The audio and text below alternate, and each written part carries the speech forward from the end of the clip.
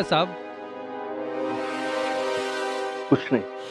मुझे सृष्टि की चिंता हो रही सुनो। जी।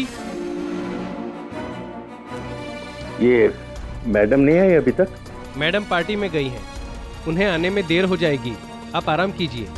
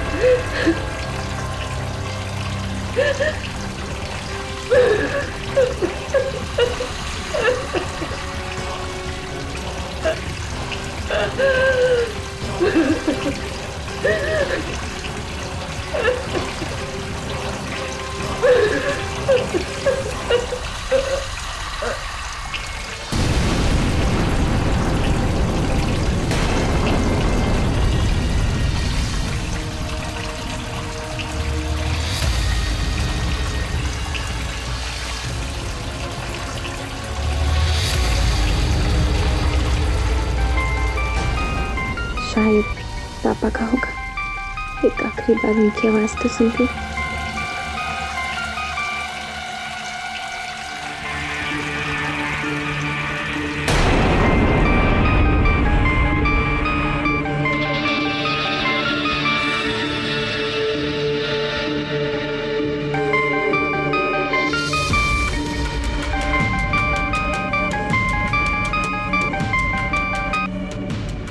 पापा? सृष्टि बेटे तुम ठीक तो हो ना? हाँ पापा मैं बिल्कुल ठीक हूँ। बेटे पता नहीं पिछले कई दिनों से मुझे बड़े अजीब अजीब से सपने आते हैं। तुम्हारे उस बीमारी के बारे में। नहीं पापा मैं बिल्कुल खुश हूँ यहाँ पे। आप ऐसे ही टेंशन ले रहे हो। वहाँ कहाँ पर है? वो वो तो किसी पार्टी में गई है। बेटे अब तुम भी सो जाओ। और हाँ कभी किसी चीज़ की ज़रूरत हो तो मुझे ज़रूर बोलना। जी पापा। Bye, beta, and take care.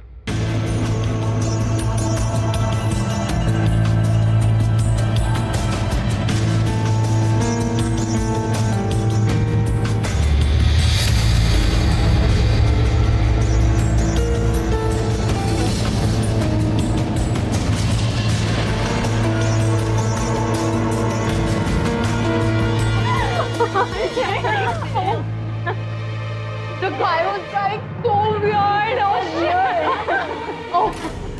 that guy was driving so weird. Oh shit. It was amazing. पूरे रूम को स्विमिंग पूल बना के रखा है इसने इस लो लाइफ को ना रूम से निकाल देना चाहिए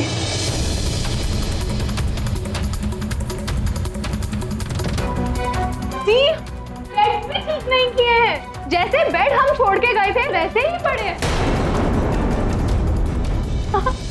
और अपना खुद का बेड तो देखो बहुत टाइडी बना के रखा है। अब मैं मैं मैं मैं अभी ठीक कर देती हूँ। व्हाट मैं मैं मैं? यू ब्लडी गोट क्या हाल बना के रखा है? जा पहले जाके चेंज कर। हम तीनों बहुत ज़्यादा थके हुए हैं। जा जाके चेंज कर।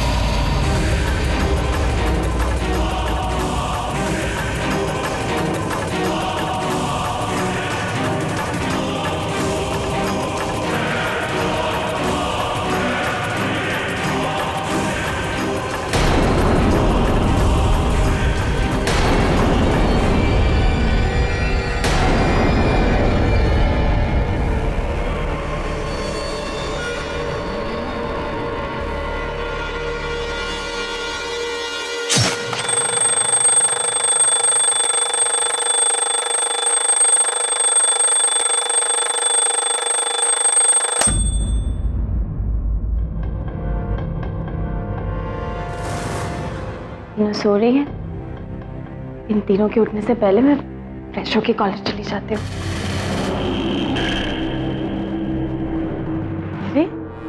हाथ पे निशान कैसे है? कल तक तो नहीं थे। आ, कहीं इन तीनों ने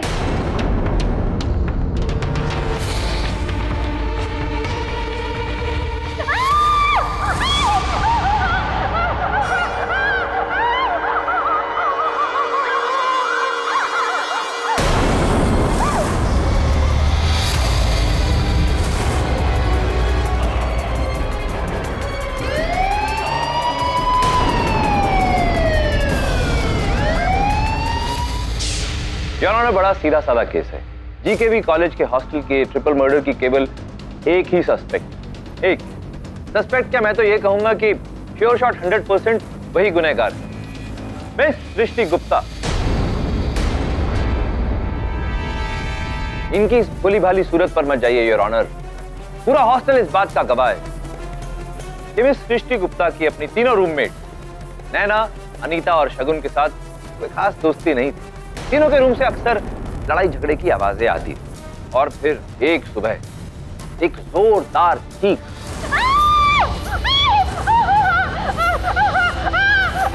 और वो चीख थी खुद सृष्टि गुप्ता की, जब इन्हें इस बात का एहसास हुआ कि इन्होंने अपने गुस्से में आकर अपनी तीनों रूममेट्स का बेरहमी से कत्ल कर दिया है।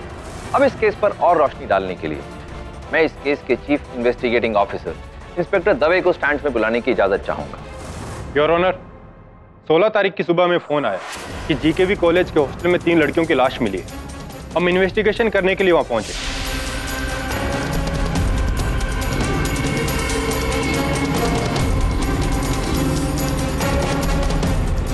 बॉडीज को आप में से सबसे पहले किसने देखा?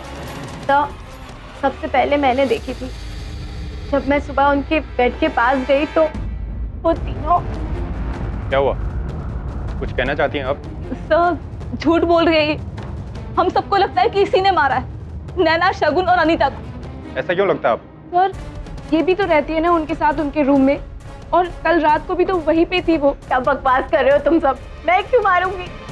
सब मैंने नहीं मारा उनको। साहब ये बाहर कूड़ेदान में से कपड़ा और चाकू मिला है।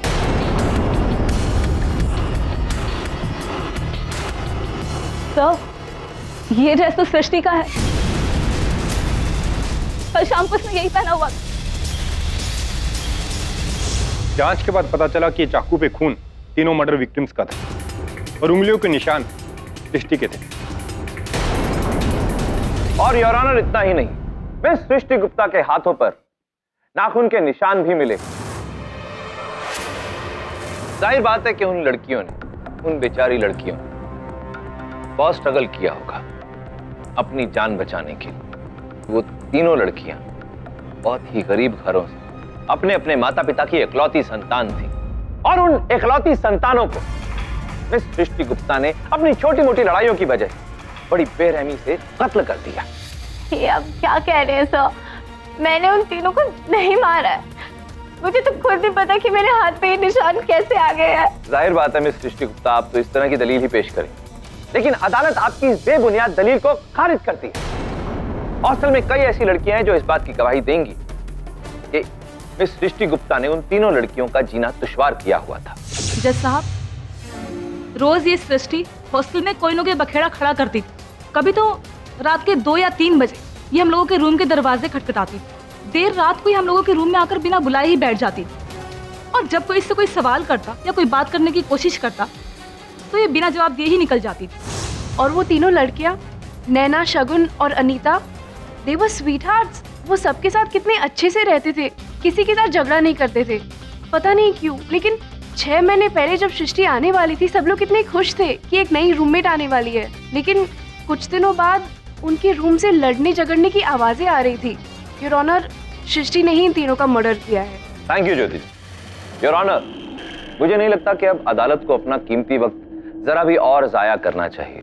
सच कहूँ तो मुझे तो ये भी समझ में नहीं आता कि एडी सर ने ये केस आखिर लिया क्यों? केस इसलिए लिया प्रोसिक्यूटर साहब, क्योंकि सर जो होता है वो दिखता नहीं, जो दिखता है वो होता नहीं, और इस केस में जो है वो आपको दिख नहीं रहा। आप बैठिए, मैं समझाता हूँ, बैठिए बैठिए। अर्थात योर ऑनर प्रोसिक्यूटर साहब ने ये दलील रखी है कि सृष्टि के हाथों पर जो खरोज के निशान है, वो तीन मृत लड़कियों के हैं।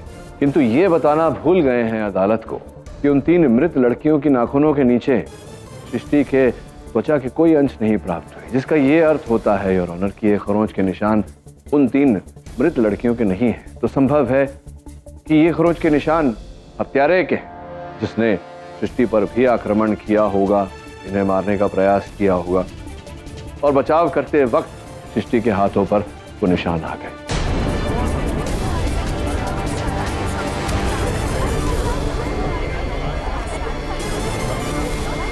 केडी सर, ये भी तो हो सकता है कि सृष्टि ने अपने हाथों पर वो निशान खुद बनाए हो।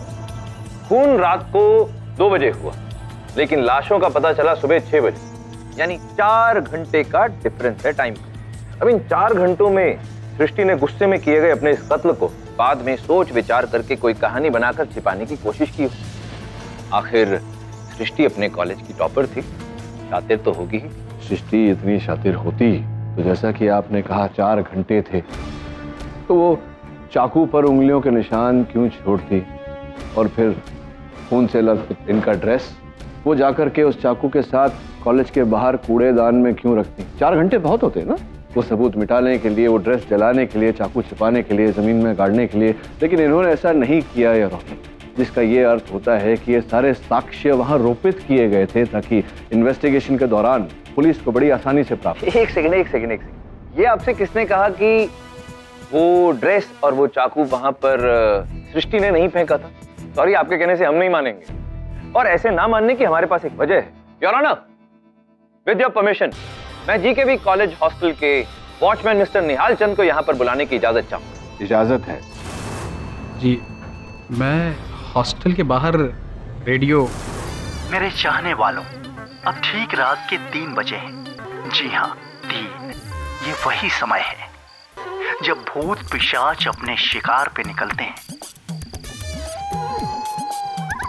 मेरा ये शो रात के तीन बजे अधिकतर वॉचमैन और सिक्योरिटी गार्ड्स ही सुनते हैं। तो दोस्तों, अपना ख्याल रखिए। और एक बार दाएँ देखिए। और एक बार बाएँ। कहीं कोई भूत आपकी तरफ़ तो नहीं आ रहा। क्या बकवास करता?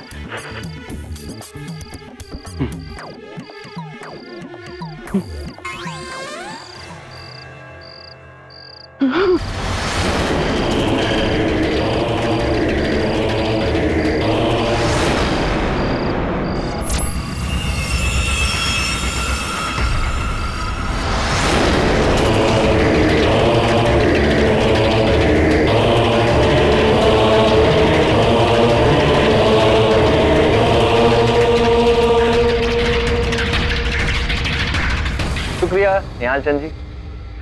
सुना केडी सर आपने? नहीं, सुना तो सही मैंने अब कुछ पूछना चाहता हूँ। आपके गवाह निहाल चंद से थैंक यू निहाल चंद जी क्या क्या आपके कथन के अनुसार रात के तीन बजे आप वहाँ बैठे अपना काम कर रहे थे? तो आपने पूछा नहीं इनसे कि आधी रात गए कूड़ा क्यों फेंकने आई? वो पूछा नहीं आप? सर पूछना क्या है? ये तो रेगुलर था उनका। हफ़्ते में एक दो बार तो वो आ जाया करती थी कचरा फेंकने के लिए रात को। और एक बार मैंने पूछने की भी कोशिश की थी लेकिन वो मुँह फुलाकर चली गई और फिर इसके बाद मैंने कभी नहीं पूछा सर। ये झूठ बोल रहे हैं सर। मैं रात को कोई कचरा फेंकने कहीं नहीं जाती थी। मुझे समझ नहीं आ रही ये सब लोग ऐसे क्यों बोल रहे हैं? ये बिल्कुल ठीक कह रहे है। आपको जो कुछ भी कहना है कटघरे में आके कहिए। मिस गुप्ता मैं अदालत के रिकॉर्ड्स के लिए बताना चाहूँगा कि योर ये बिंदु गुप्ता जी हैं सृष्टि की माता जी। मिस गुप्ता ये बताइए कि आप आपका घर जो है वो तो हॉस्टल से 25 किलोमीटर की दूरी पे है। जी। ये जो निहालचंद जी कह रहे हैं कि रात को तीन बजे उन्होंने सृष्टि को वहाँ जा कर के कचरा फेंकते हुए देखा एक नहीं अन्य बार कई बार। तो इस बात की जानकारी आपको कैसे है? क्या सृष्टि ने आपको बताया या आप तीन बजे स्वयं गई थी वहाँ देखने? योर ऑनर मुझे दरअसल ये पहले से ही पता था। सृष्टि को ये बचपन से बीमारी है। नींद में चलने की बीमारी।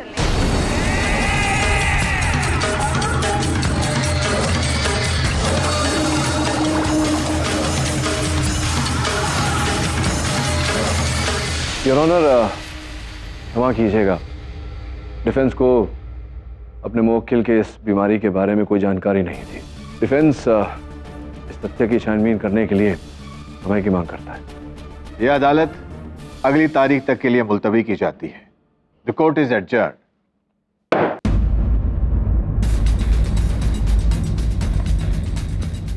सब क्या कहा सृष्टि ने? सृष्टि का कहना है कि उसे शर्म आती है लोगों को अपनी इस नींद में चलने की बीमारी के बारे में बताते हुए। भी उसने मुझसे ये बात छिपाकर ठीक नहीं किया।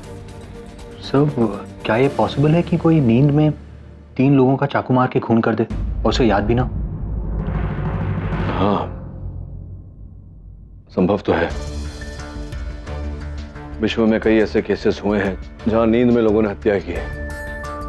कुछ केसेस में अदालत ने दंड दिया कुछ केस में बरी हो गए। सर किस बेसिस पर? बेसिस अ, ये है कि केस कितना जटिल है मतलब कॉम्प्लेक्सिटी क्या है केस की? अर्थात नींद में चलना कोई साधारण क्रिया करना तो ठीक है लेकिन अगर कोई दावा करे कि नींद में गाड़ी चलाया उस व्यक्ति ने वो भी भीड़ भड़ाके वाले रास्ते पर तो ये बात संदेहजनक हो जाती है। सर आपको लगता है कि सृष्टि निर्दोष है? केवल इतना नहीं और पुलिस को कूड़ेदान में जो शर्ट मिला सृष्टि का। वो उस रात सृष्टि ने पहनी नहीं। तो फिर उस पर लहू कहाँ से लगा? मुझे लगता है कोई है जो सृष्टि को फंसाने का प्रयास कर रहा है। और वो व्यक्ति सृष्टि की इस बीमारी के बारे में जानता है, इसका लाभ उठा रहा है। ढूंढना होगा कि वो व्यक्ति कौन है। हमें हत्यारा मिल जाएगा। उसकी माँ बिंदु गुप्ता सर जब मैं सृष्टि का बैकग्राउंड चेक कर रहा था तब मुझे पता चला कि बिंदु जी उसकी सौतेली माँ है और उसने ज़बरदस्ती सृष्टि को हॉस्टल भेजा था। और सृष्टि के कॉलेज की टीचर प्रोफेसर शीला टंडन ने भी बिंदु जी को कॉलेज में आने से मना किया था। सृष्टि की माँ बिल्कुल पागल थी मिस्टर कीडी। एक दिन कॉलेज आई और ज़ोर ज़ोर से सृष्टि के ऊपर चिल्लाने लगी। कुछ घर की प्रॉपर्टी की बात थी। फिर उसके बाद मैंने उन्हें यहाँ आने से बिल्कुल मना कर दिया था। तो ब- कभी इस बारे में आपने सृष्टि से बात करने का प्रयास किया है कोई बात हुई? कई बार कई बार कोशिश की थी बात करने की। इनफैक्ट uh, मैंने उसे काउंसिल भी की थी। लेकिन जब भी बात उसकी फैमिली पर आती वो चुप हो जाती थी। क्योंकि मैं नहीं चाहती थी कि किसी भी डिस्टरबेंस की वजह से उसकी पढ़ाई पर असर पड़े। आई थिंक उसकी सौतीली माँ ने उसे बहुत डरा धमका कर रखा था। वैसे Srishti was a sweet girl तो अगर इतनी स्वीट थी फिर जो तीन लड़कियों की मृत्यु हुई सुना उनके साथ बहुत अनबन थी सृष्टि की। उनके और सृष्टि के बीच इतनी अनबन क्या कारण था इसके पीछे? वो तीनों लड़कियाँ कॉलेज आती थी सिर्फ़ टाइम पास के लिए। पार्टीज़ ड्रिंकिंग और पता नहीं क्या क्या उनकी पर्सनालिटी में और सृष्टि की पर्सनालिटी में बहुत फ़र्क था। इसीलिए शायद उनकी आपस में कभी बनी ही नहीं। इनफैक्ट, सृष्टि ने आके कंप्लेन भी की थी उनके बारे में। एक दिन उन तीनों लड़कियों में से किसी एक का बॉयफ्रेंड एक दिन आया था हॉस्टल वो भी दिन के टाइम जब सारी लड़कियाँ कॉलेज में थी। पता नहीं वो क्या कर रहा था उनके कमरे में। जब सृष्टि ने उसे देख लिया था। ऑब्वियसली सृष्टि ने आके कंप्लेन की और मैंने नेचुरली सृष्टि का ही साइड लिया। अब ये भी एक रीजन हो सकता है। अंदर आ गया था। कमरे की चाबी थी उसके पास। आप सब लोग मुझे फंसा रहे हैं। इस केस से मेरा कोई लेना देना नहीं है। अरे मोहित मोहित अभी तक तो हमने कोई प्रश्न ही नहीं पूछा तुमसे। तुम क्यों इतने उत्तेजित हो रहे हो? उत्तेजित मत हो लो लो लो पानी पियो पानी पियो पानी पियो। पियो पियो पियो पियो पियो। योर ऑनर ये हो क्या रहा है? केडी सर दवा दारू हो गई या कुछ और? कोई दवाई मंगा दो? नहीं नहीं। योर ऑनर मुझे लगा था कि ये केस है नैना अनीता और शगुन के मर्डर का जिसमें मेन अक्यूज है मिस सृष्टि गुप्ता। ये पता नहीं केडी सर कहाँ से इस लड़के मोहित को उठा लाए हैं? इसका इस केस से क्या लेना देना है, सर? योर ऑनर मोहित को लाने का कारण ये है कि जो तीन मृत लड़कियाँ थी, उसमें से एक शगुन। ये शगुन के बॉयफ्रेंड थे। और मैंने जब अपने सहायक वरुण को मिसेस टंडन से बात करने के बाद इंस्पेक्टर दवे के साथ वहाँ हॉस्टल रूम की छानबीन के लिए भेजा तो वहाँ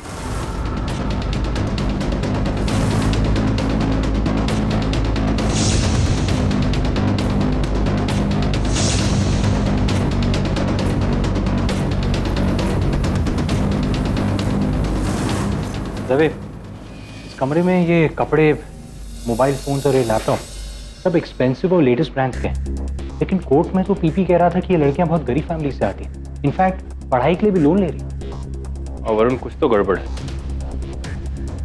ये दोनों है ना? इसका जवाब ये दोनों देंगे। वी डोंट नो सर कि यहाँ ये सब कैसे हुआ। हमें तो ये भी नहीं पता कि वो लोग गरीब थे।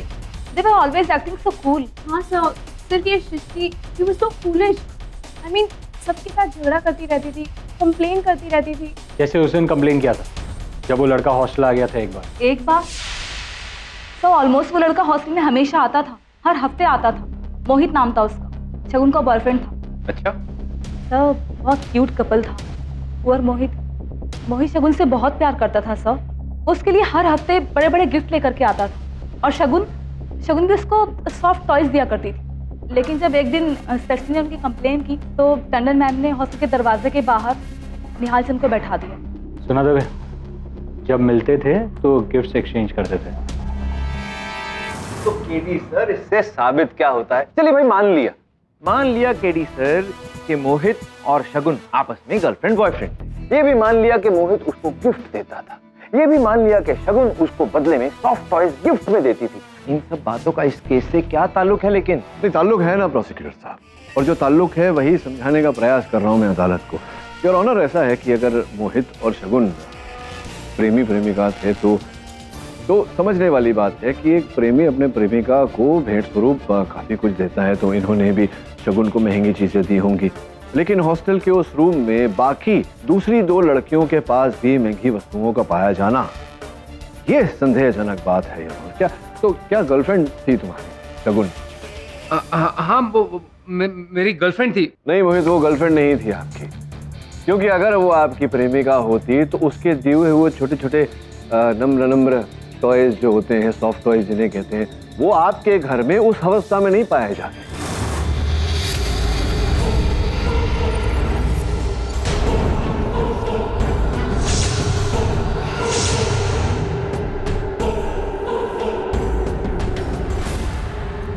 सारे डॉल्स ऐसे चीर के रखे हैं जैसे कि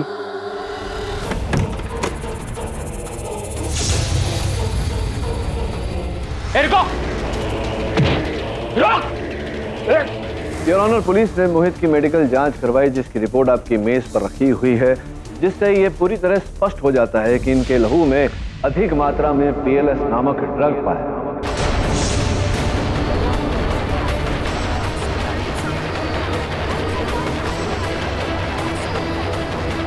Order order silence in the court केवल इनके लहू में नहीं है इनके घर की छानबीन से जो सॉफ्ट टॉयज प्राप्त हुए, जो शगुन ने इन्हें भेंट स्वरूप दिए फटे हुए चीथड़े, उन चीथड़ों में भी पीएलएस नामक ड्रग के अवशेष पाए गए। रिपोर्ट आपके मेज पर है।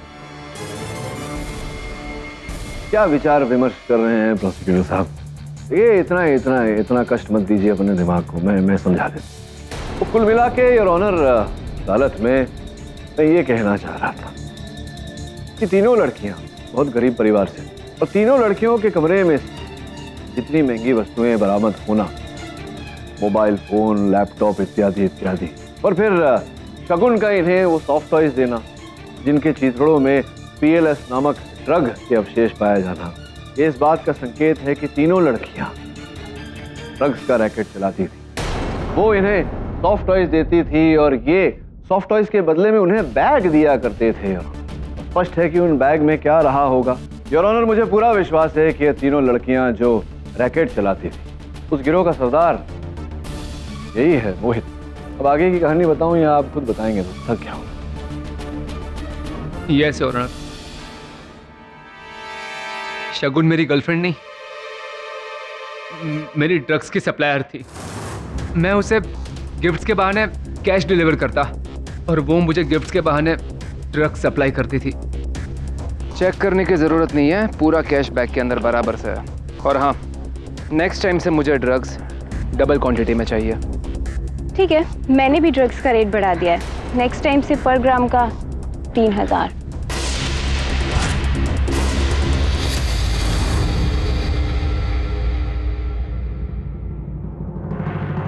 पहले तो योर ऑनर हमारी सारी डीलिंग्स हॉस्टल में हुआ करती थी। मेरे पास शगुन के कमरे की चाबी थी। जब भी सारी लड़कियाँ कॉलेज चली जाती, मैं चुपके से शगुन के कमरे में चला जाता था और कैश रख के ड्रग्स लेकर चुपचाप निकल जाता था।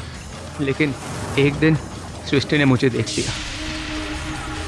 सृष्टि ने बहुत बड़ा हल्ला मचाया। इतना बड़ा सीन क्रिएट किया कि मुझे वहाँ से धक्के मार के बाहर निकाल दिया। और शगुन को भी टंडन मैम ने वार्निंग दे दी। उसी दिन से शगुन, नैना और अनीता तीनों सृष्टि की दुश्मन बन गई।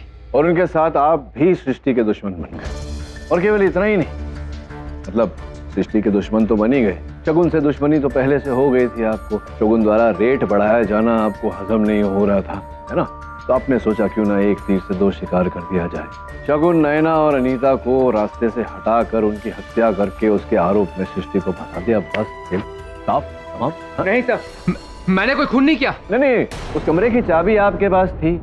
अंदर आना जाना बिल्कुल आसान था आपके लिए सरल था। हत्या करने का मकसद भी था आपके पास तो पूरी संभावना है कि हत्या आपने की है। केडी सर एक है।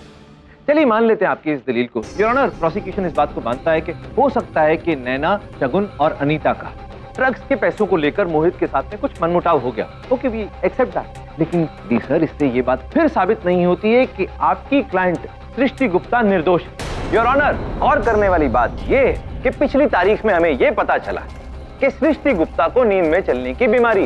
ये भी पता चला कि छह महीने पहले सृष्टि गुप्ता ने जीके कॉलेज को ज्वाइन किया। लेकिन यहाँ ये बात नहीं पता चली। कि सृष्टि गुप्ता ने सेंट मार्टिन कॉलेज को छोड़कर जीके कॉलेज में दाखिला अपनी मर्ज़ी से नहीं लिया था, बल्कि उनके घर वालों ने उन्हें ज़ोर ज़बरदस्ती से करवाया था। और इस ज़ोर ज़बरदस्ती के पीछे वजह थी सृष्टि गुप्ता का नींद में चलना और उसके बाद का वायलेंट बिहेवियर जिससे उनके घर वाले भी परेशान। यहाँ तक कि एक बार खुद सृष्टि गुप्ता की माँ बिंदु गुप्ता, उनके इस नींद में चलने के बाद वाले वायलेंट बिहेवियर का शिकार होते होते बची।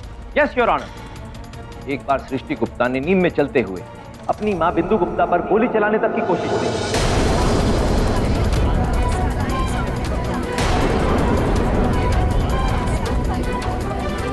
Order order silence in the court ji your honour इस लड़की का स्क्रू थोड़ा ढीला है। अगर मुझे पहले पता होता तो मैं इसके पिताजी से कभी शादी ना करती। इसने मुझे रात को भी मारने की कोशिश की।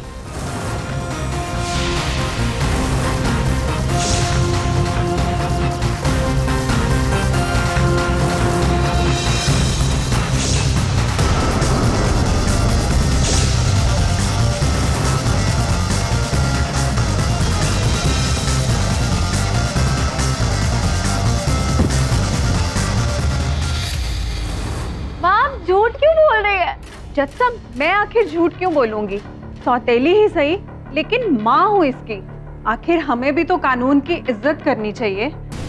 जज साहब ऐसी खूनी लड़की को अगर आपने सजा ना दी तो ना जाने कितनी माओ की गोद सुनी हो जाएगी। क्या बात है मिसेस गुप्ता? बहुत बढ़िया बहुत बढ़िया। आपके मन में कानून के प्रति इतना आदर देखकर अति प्रसन्नता हुई। जी वही तो मैं कह रही हूँ। इसी ने अपने दोस्तों का खून किया होगा। और अब मासूम बनने का नाटक कर रही है। अभी ये नाटक कौन कर रहा है, ये तो बहुत शीघ्र पता चल जाएगा। योर ऑनर सिद्धू जी सही कह रही है। सृष्टि को नींद में चलने की बीमारी है, ये अक्सर मध्य रात को जागती है और नींद में चलकर अपने कमरे की सफ़ाई इत्यादि करती है। लेकिन नींद में इन्होंने अपनी सौतली माँ पर गोली चलाई। ये बात सरासर झूठ है। स्लीप वॉकिंग अर्थात नींद में चलने की बीमारी पर विशेष टिप्पणी करने के लिए मैं प्रख्यात न्यूरोलॉजिस्ट डॉक्टर सिंह को कटघरे में बुलाने की अनुमति चाहता हूँ। डॉक्टर सिंह कृपया अदालत को बताएँ, समझाएँ कि ये जो नींद में चलने की बीमारी होती है स्लीप वॉकिंग क्या इस बीमारी के चलते किसी व्यक्ति का नींद में उठकर, चलकर किसी और कक्ष में, किसी और कमरे में जाकर, कबर्ड खोलकर, कबर्ड में से गन निकालकर, कार्ट्रिज निकालकर, कार्ट्रिज में गोली भरकर, फिर वो कार्ट्रिज गन में डालकर, किसी पर निशाना साध कर गोली चलाना संभव है? संभव है। लेकिन सृष्टि के केस में नहीं। योर ऑनर मैंने सृष्टि को बहुत ही अच्छी तरह से टेस्ट किया है। और मेरे टेस्ट के मुताबिक, सृष्टि तो एक खास तरह की नींद में चलने की बीमारी, जिसे हम एनजाइटी न्यूरोसिस कहते हैं। सृष्टि को सफ़ाई बहुत पसंद है, और नींद से तभी उठती जब सोते वक्त उसका कमरा गंदा हो, जब उसे पता चलता कि उसके कमरे की सफ़ाई नहीं हो। मतलब एंजाइटी उसकी सफ़ाई है तो सृष्टि रात को नींद में चलते वक्त सिर्फ़ अपना कमरा साफ़ कर सकती थी। कोई हथियार लेकर किसी का मर्डर नहीं कर सकती थी। और जो सीक्वेंस केडी सर बता रहे हैं गन लोड करने का वो तो बहुत ही कॉम्प्लेक्स सीक्वेंस है जो कि शायद ही अपने नींद में कोई कर पाएगा। और सृष्टि तो बिल्कुल नहीं कर पाएगी। Thank you doctor your honour doctor Singh के कथन से ये प्रमाणित हो जाता है कि बिंदु गुप्ता अदालत में झूठ बोल रही हैं। मेरे मुवक्किल सृष्टि को फंसाने का प्रयत्न कर रही हैं। योर ऑनर सर वो ऐसा क्यों करेंगे? वही पुराना कारण योर ऑनर धन संपत्ति जायदाद का लालच। अगर अदालत सृष्टि को इन तीनों हत्याओं में अपराधी मानकर दंड दे देती है तो इनके पिताजी की सारी धन संपत्ति, इनकी सौतेली माँ बिंदु गुप्ता के नाम हो जाती है। केवल इतना ही नहीं है प्राप्त जानकारी के अनुसार इसी सिलसिले में इन्होंने एक वकील से भेंट भी की है। इसी कारण से ये सृष्टि को फंसाने का प्रयास कर रही आप मुझ पर हमेशा से ही झूठे इल्ज़ाम लगाते आ रहे हैं। अब ऐसा क्यों करती है? अब इतनी बुरी क्यों है आखिर? मैंने आपको क्या बिगाड़ा है? अपने पापा को भी मेरे बारे में पता नहीं क्या क्या गलत बातें बोली है झूठी बातें बोली है ताकि वो मुझे हॉस्टल भेज देना। बोलो सामने आज बोलो, ऐसा क्यों करते हो आप?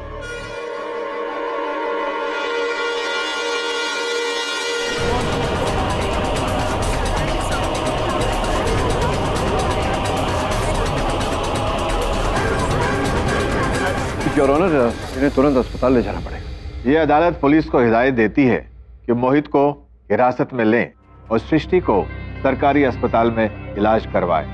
The court is adjourn for the day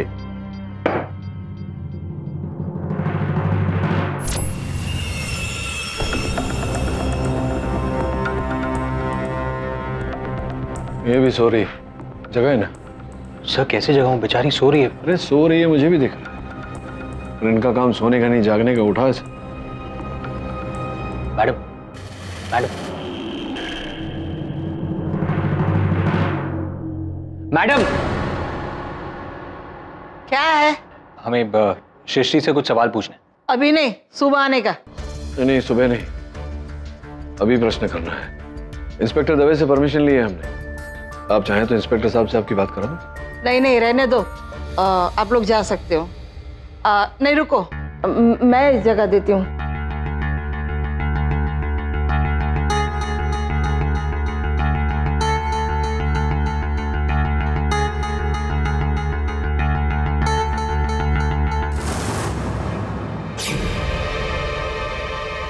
भगवान ये कहाँ चली गई?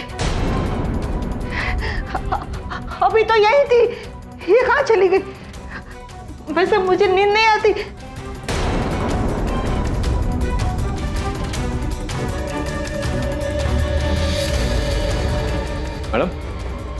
क्या हुआ आपको?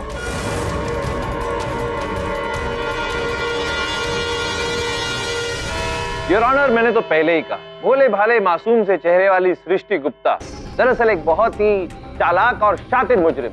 पहले तो अदालत को अपने वो नींद में चलने की बीमारी से गुमराह करके रखा, और फिर उसके बाद अदालत में ही चक्कर आ जाने का नाटक किया, और जब उन्हें अस्पताल भेजा गया इलाज कराने के लिए तो वहाँ से फरार हो गई। क्यों केडी सर क्या कहना चाहेंगे अपने क्लाइंट के बारे में? कहना तो कुछ विशेष नहीं है प्रोसिक्यूटर साहब आपकी अनुमति हो तो कुछ दिखा दो। जी दिखाइए। आइए।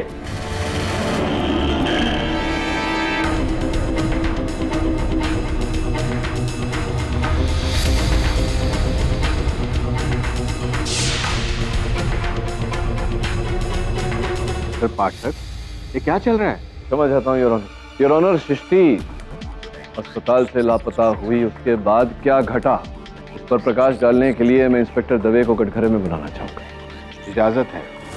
योर ऑनर केडी को जैसे ही पता चला कि सृष्टि हॉस्पिटल में नहीं है केडी ने मुझे फ़ोन किया। करीब दो बजे तक तो मैं जाग रही थी।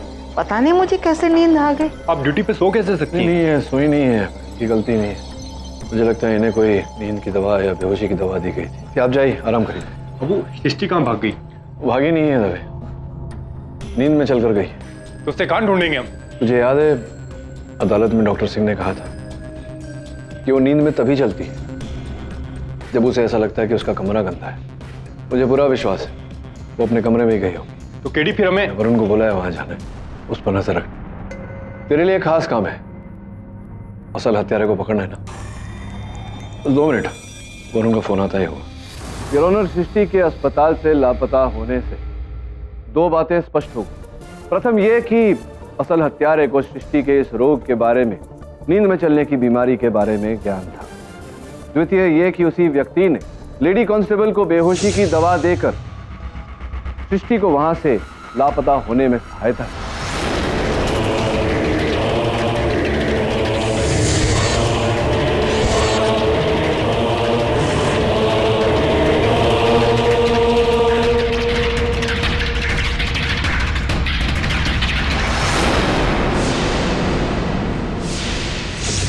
ऑनर इसके बाद मैं समझ गया कि हत्यारा सृष्टि को मारने का प्रयास अवश्य करेगा।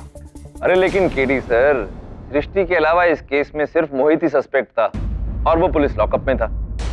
धैर्य रखिए प्रोसिक्यूटर साहब। सत्य बहुत शीघ्र सामने आ जाएगा। ये लो आ गया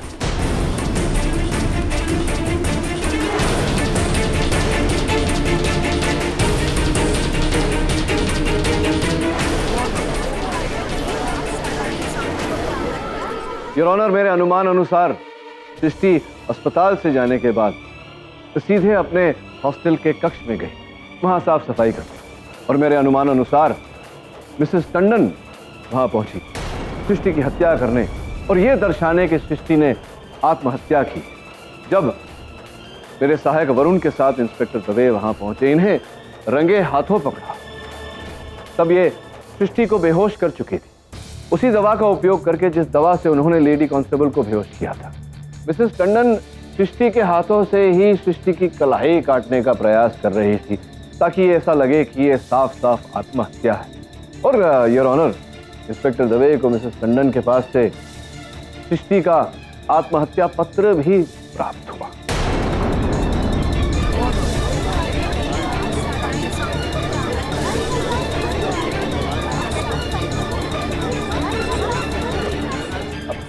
मिस्टर टंडन कहने सुनने को बाकी रह नहीं गया है। मैंने न्यायाधीश महोदय को कहानी तो बता दी आप रंगे हाथों पकड़ी गई हैं। अब क्या करना चाहेंगी? अपने अपने बचाव में कुछ कहना चाहेंगी या अपराध कबूल करना चाहेंगी? हाँ मैंने ही उन तीनों को मारा। है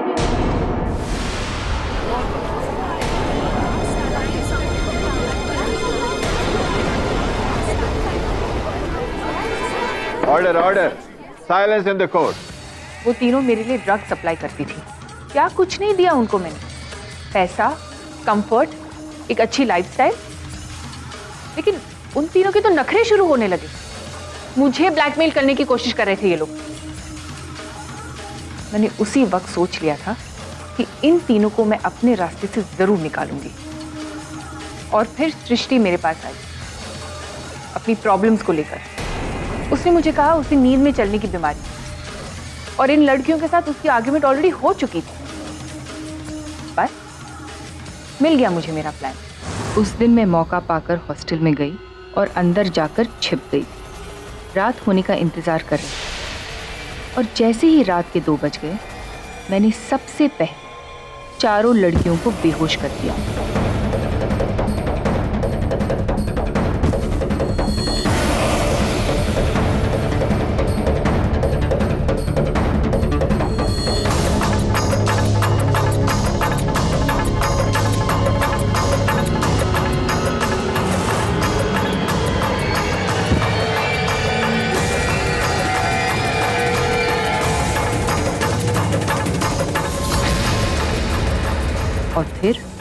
सृष्टि के हाथों पर नाखून की स्क्रैच डाला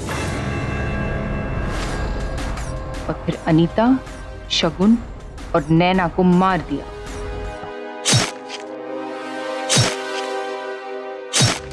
जिससे पूरा शक सृष्टि के ऊपर जाए कि उसने ही इन तीनों को मारा है। और फिर मैंने चाकू को डस्टबिन के पास रखा, क्योंकि मुझे पता था कि तीन बजे सृष्टि उठकर डस्टबिन के कचरे को बाहर वाले डस्टबिन में ज़रूर फेंक देगी और निहाल चंद उसे देख। जब मैं हाथ धोने वॉशरूम गई तो वहाँ मैंने देखा कि सृष्टि की नाइट ड्रेस पड़ी हुई। मुझे लगा, अगर पुलिस को सृष्टि के कपड़े भी मिले, खून से लथपथ तो उस पर शक और मज़बूत हो जाएगा। इसीलिए मैंने अपने हाथ उस ड्रेस पर साफ़ करके उसी ड्रेस को भी वही कमरे के डस्टबिन में फेंक दिया। और जैसे मैंने प्लान किया था रात को सृष्टि ने उठकर डस्टबिन के सारे आइटम्स को बाहर जाकर बड़े डस्टबिन में फेंक दी। मुझे लगा कि ये केस अगर जल्दी क्लोज नहीं हुआ तो आपका शक मुझ पर भी आ सकता है। इसीलिए मैंने सृष्टि को हॉस्पिटल से बाहर निकालने का प्लान बनाया और उसके खून को आत्महत्या की तरह बताने की कोशिश की। सृष्टि का सौभाग्य है कि आप असफल रही। बड़े दुख की बात है कि आपने एक टीचर होते हुए, अध्यापक होते हुए ऐसा किया। एक गुरु का कार्य होता है अपने शिष्य को मार्गदर्शन देना। किंतु आपने तो अपने स्वार्थ के लिए अपने शिष्य को गलत रास्ते पर ढकेला रेस्ट तमाम गवाहों और सबूतों के मद्देनजर यह अदालत मिसेस टंडन को नैना अनीता और शगुन के कत्ल में दोषी पाते हुए उम्र कैद की सजा सुनाती है। और सृष्टि को निर्दोष पाते हुए इस केस से बाइज्जत बरी करती है और साथ ही पुलिस को हिदायत देती है कि वो ड्रग्स सप्लाई करने के जुर्म में मोहित के खिलाफ कड़ी से कड़ी कार्रवाई करें। The case is close